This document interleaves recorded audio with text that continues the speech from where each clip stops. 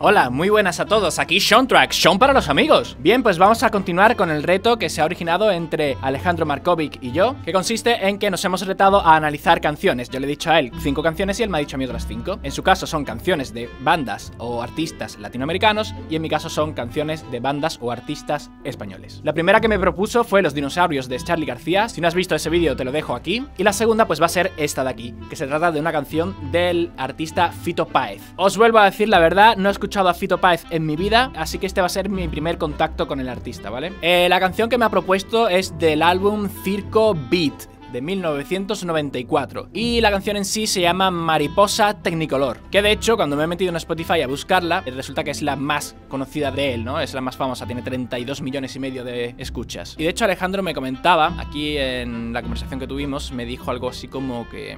Esa canción que te mandé es muy comercial, podría decirse, dentro de su repertorio. Pero es una joya en cuanto a composición. Bueno, no te digo más. Pues nada, eso es lo que tenemos. Además, de esta forma mato, digamos, dos pájaros de un tiro, porque Fito Páez es un artista que me habéis recomendado montones de gente y bueno, hasta ahora no se había terciado. Si no conoces la canción, la tienes en la descripción, ¿vale? Porque yo no voy a poder poner más de 8 segundos seguidos de la canción por temas de copyright. No me enrollo más, le voy a dar al play a este tema del 94, a ver qué tal está.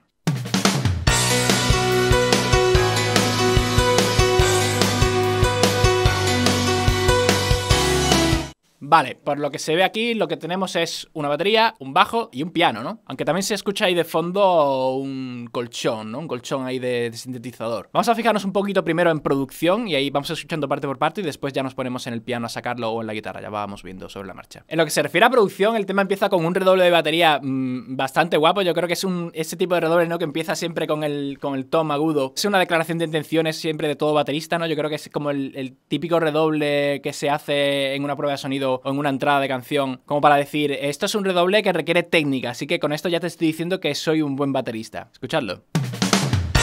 Es un redoble precioso, súper bien ejecutado y luego en lo que se refiere al timbre de la batería, la caja me flipa, me flipa, me encanta, ¿vale? Es jerga de aquí española. La caja tiene una pegada brutal. Y además el tipo se ve que le pega en su sitio, ahí en el centro bien. Además es ese tipo de sonido de caja que me gusta, ¿no? Sí, con, poquísimo armónico, por no decir casi nada. Sí, sí, sí, prácticamente cero armónico, la reverb justa y necesaria. Y luego ese sonido de piano también que es un poquito rollo honky tonk, ¿no? Como con más brillo de la cuenta. Si un piano normal suena así... Y el honky tonk este, vais a ver que es como más brillante, sería esto. Es como que tiene un ataque artificial, ¿no? Porque mm, si os fijáis, incluso si le doy flojito a la tecla, suena fuerte. Tiene dinámica, pero, pero menos dinámica. Sin embargo, fijaos con el sonido de piano normal que no pasa eso. Tengo que pegarle mucho más fuerte para que suba el volumen, mientras que con el honky tonk es como que no necesitas eso, ¿no?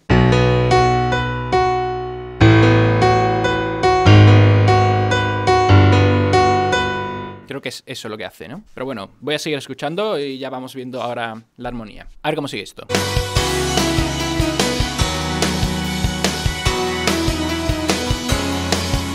Vale, ya ha cambiado la secuencia armónica. Pensaba que iba a volver a repetir lo anterior, pero no. Ha hecho una parte nueva, bastante bonita, por cierto. Ahora la sacamos. A nivel de paneo, es como que el piano está bastante más presente en el lado derecho y han dejado el hueco de los graves más para la izquierda. La batería está totalmente paneada de una forma lógica, ¿no? Y eso, y hay un sinte en la izquierda que lo que hace prácticamente es sostener dos notas.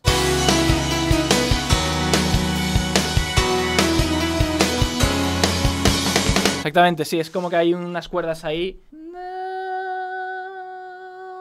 Es como si hiciese así, ¿no?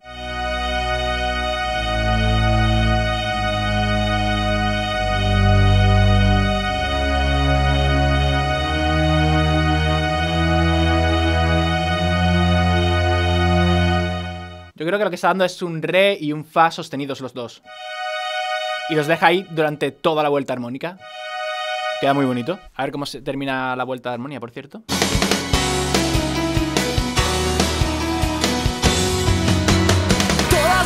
Vale, ahí ya entra la voz. Vamos a sacar esa intro, ¿no? Yo he entendido la primera vuelta como...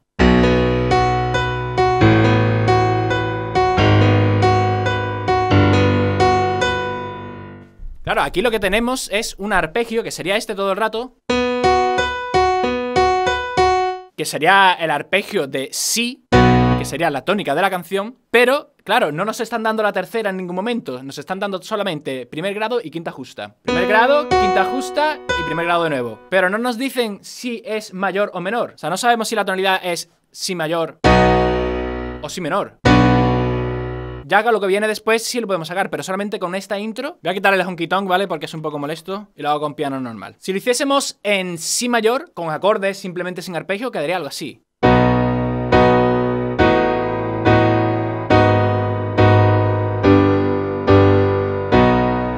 Pero también lo podemos hacer en menor y quedaría así.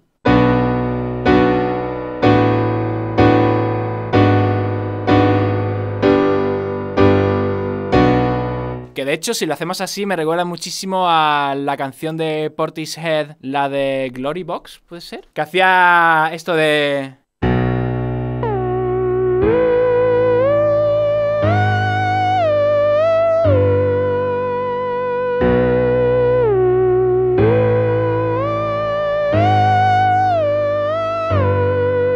Lo hacía la voz, ¿no?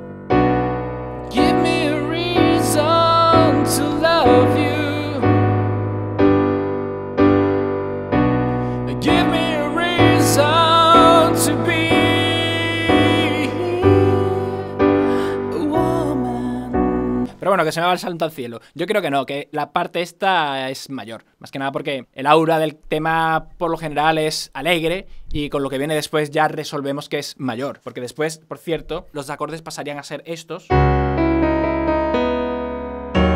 Entonces aquí ya sí han pisado la tercera mayor.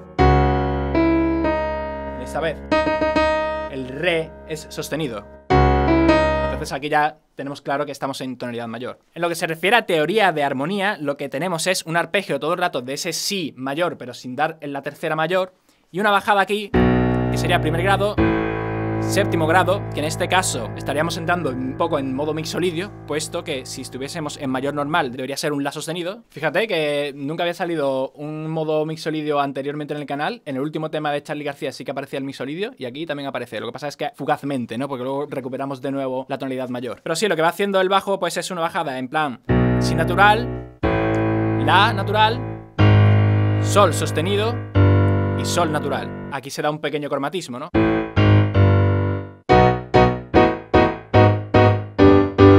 Terminamos en sol mayor. Y ya en la siguiente cambia el arpegio.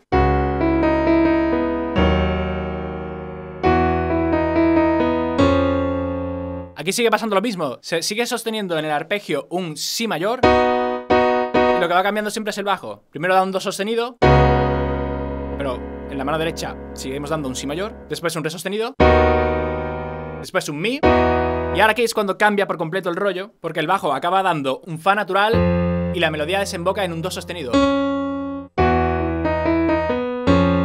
¿Qué es lo que está pasando aquí? Pues que realmente en lo que se refiere a armonía es simplemente un mi mayor y un do sostenido mayor también, pero con el bajo en primera inversión. Por eso se crea aquí este pequeño cromatismo entre el mi y el fa.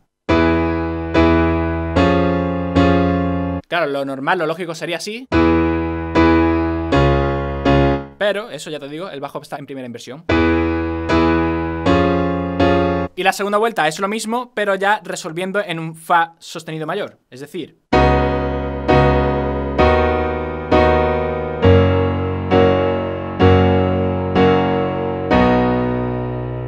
que es el acorde de dominante para resolver de nuevo en la tonalidad que era Si mayor. Vale, pues esa sería la teoría de la intro de la canción, que por cierto es muy pero que muy bonita. Vamos a ir ya directos a la estrofa, ¿no? A ver qué tal entra la voz. Que. Se ve que este hombre tiene una voz eh, altita, ¿eh? Vale, aquí ya ha entrado una guitarra, una guitarra eléctrica que está en el lado izquierdo y en la derecha es donde han dejado el piano, el bajo en el centro y la batería, pues, paneada de forma, como hemos dicho, normal y evidentemente la voz en el centro también. Pero está muy bien repartido todo porque en tu cabeza, cuando lo escuchas eso con los auriculares, pues tienes como todo lleno, pero a la vez hay mucho espacio libre para la voz. O sea, la, la mezcla está realmente bien. Con el rollo este de que no son instrumentos así eh, demasiado fuertes, o sea, no hay, no hay apenas distorsión en la guitarra, por no decir nada. O sea, eh, está un poquitín crujiente la guitarra de la izquierda, pero es un poquito de overdrive solamente. Pues queda todo eso con, con mucho aire para la voz. La voz eh, tiene un plano protagonista y no hay peleas ninguna entre instrumentos. El encantamiento de un amor, el sacrificio de mis madres, los zapatos de charol. Vale, eso sería una vuelta entonces completa, ¿no? Para esto vamos a coger la guitarra eléctrica y vamos sacando a ver qué pasa, porque la verdad que los acordes eh, está todo dentro de la escala mayor, me parece, ahora lo vemos, pero hay muchísimos acordes, hay mucha armonía aquí que analizar, vamos, vamos a verla. Vale, yo de vuelta eh, de lo que es la estrofa entiendo esto, ¿no?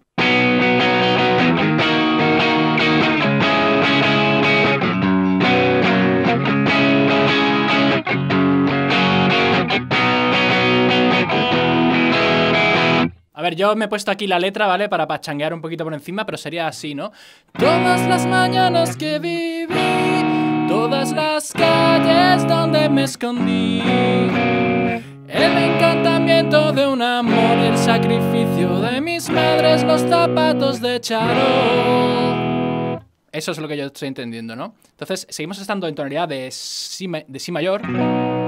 Pero vamos, que aquí no hay modulaciones ni nada. A pesar de que haya muchos acordes, está todo dentro de la escala de Si mayor. A nivel de recursos de armonía, lo que más llama la atención es que cuando llegan al Fa sostenido, este de aquí, utilizan el recurso este de usar primero la cuarta antes de reposar en la tercera mayor. Es decir, que hacen... Entonces, primer acorde mayor, menor, menor, cuarta y tercera. Salvo que Cristo sigue hacia la cruz. Me gusta mucho ese recurso que hace en la voz de como un retardando, ¿no? Los domingos en el club, salvo que Cristo sigue allá en la cruz, sigue allá en la cruz. ¿Veis? Ese retardando tiene muchísimo rollo. Lo pongo otra vez. Los domingos en el club, salvo que Cristo sigue hacia la cruz. Sigue allá en la cruz. Ostras, la verdad es que tiene muchísimo ritmo la voz, tiene mucha métrica. Está muy guapa la estrofa. Es- súper comercial, es cierto, en eso no le falta razón a Markovic, pero es verdad que tiene muchísima riqueza armónica. Y la voz, mm, o sea, es que la escuchas dos veces y ya la tienes en la cabeza, ya la sueltas sola. Todas las mañanas que viví, todas las calles donde me perdí. El encantamiento de un amor, el sacrificio de mis padres, los zapatos de charol. Los domingos en el club, salvo que Cristo sigue allá en la cruz. Las columnas de la catedral y la tribuna grita gol el lunes por la capital. Qué guay, tío, qué guay, me ha gustado mucho. A ver, el- lo que viene ahora que pone aquí, todos giran, giran. No sé si girar es un verbo o girar. Parsearse las prostitutas para conseguir clientes. Bueno, ya me lo decís en comentarios qué es esto de girar. Todos giran, giran, todos bajo el sol. Ostras, qué guay, tío. También aquí hay una progresión brutal de acordes.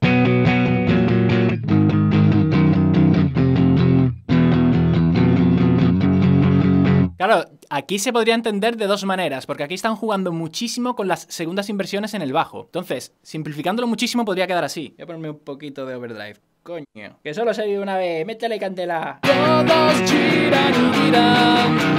Todos bajo el sol. Es muy himno también esta canción, ¿eh? Entonces, claro, esto lo puedes entender jugando como hace el bajo, hacer pequeños cromatismos que no son cromatismos, sino que son primeras inversiones del acorde, es decir, así.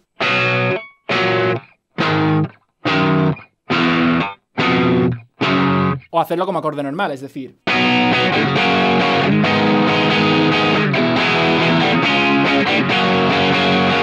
Es lo mismo, pero interpretado de forma distinta. Esto sería con acordes naturales, normales, en primera inversión.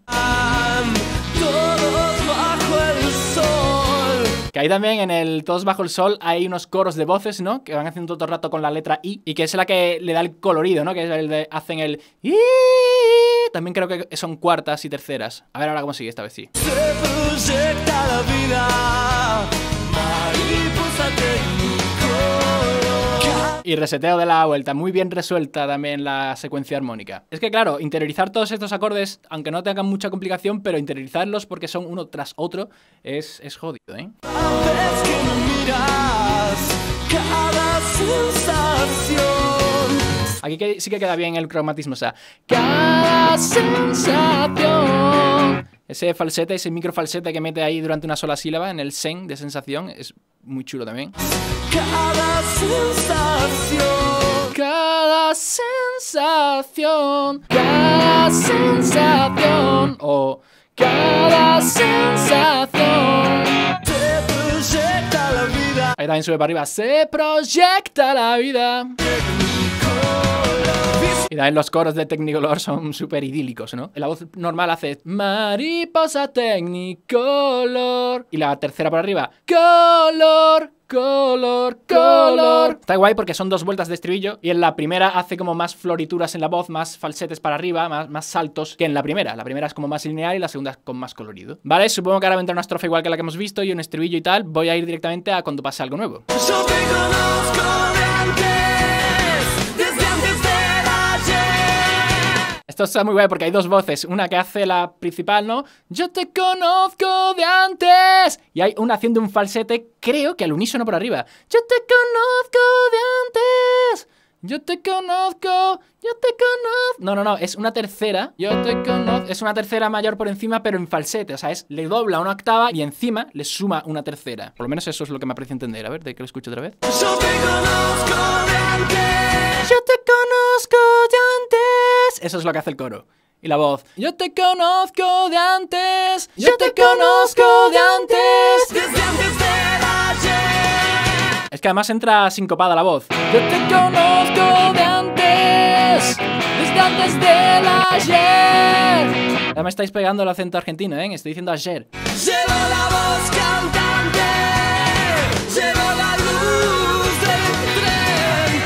Ahí ya el batería se va viniendo arriba, ¿eh? El batería es un buen músico, ¿eh? Se nota que debe ser, no sé si será un músico de estudio, porque es como el, el baterista este que eh, se pega ahí en el estudio chapurrando un rato y te dice, venga, pásamelo que te voy a hacer un par de tomas y con eso vas que chutas, chaval. Pero que quizás no están tan metidos dentro de la canción. No sé si me explico, son pajas mentales mías. Y esa parte, pues eso, está muy chulo también que sean partes así más entrecortadas, ¿no? Los acordes en plan de...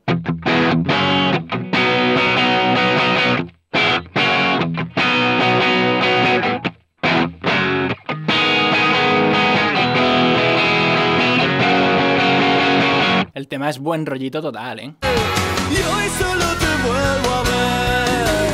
Y hoy solo te vuelvo a ver. Vale, aquí hay pues una coda antes de volver a lo que supongo que será, no sé si el estribillo o qué, ¿no? Cuando empieza el y hoy solo te vuelvo a ver, sí meten un cuarto acorde, que es el sol sostenido menor, ¿no? Y hoy solo te vuelvo a ver. Y hoy solo te vuelvo a ver.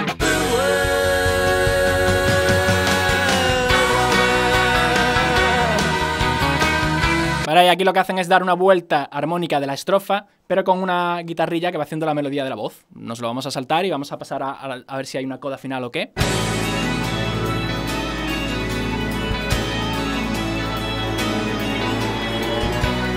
Tras momento súper épico, ahí nos hemos metido.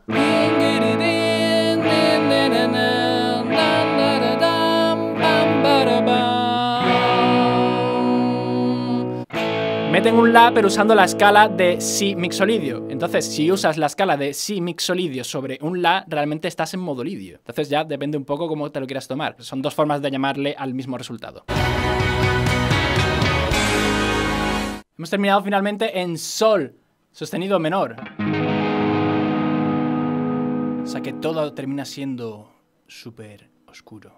No era una mariposa. Era una crisálida. Gusano. Era la crónica de una muerte anunciada. Y hasta aquí, amigos míos, el análisis del día de hoy. Gracias una vez más, señor Alejandro Markovic y al resto de suscriptores que me han recomendado a esta artista, porque la verdad que la canción es preciosa, muy bonita, 10 de 10. Y nada más, chicos, eh, déjate un like súper importante para que siga analizando este reto que se ha terciado entre Markovic y yo. Tienes un enlace al canal de Markovic en la descripción. Allí puedes ver ya el primer análisis que hizo del primer tema que le mandé, que en este caso fue una canción de un grupo de aquí de mi tierra, de mi ciudad, de Sevilla, que se llama Triana, una canción de 1975, un tema de 9 minutos, eso sí, y el análisis dura 52, así que id a verlo cuando tengáis tiempo, porque merece la pena. Y no me enrollo más, eso, déjate un like súper importante, muchas gracias por vuestro apoyo, y si este vídeo llega a más de 50.000 likes en menos de dos días, le hago un epic cover. Bye. Mi cuerpo procesado al ritmo de su corazón. Está desesperado. Soy tan vulnerable a su amor. Y acuéstate, levántate.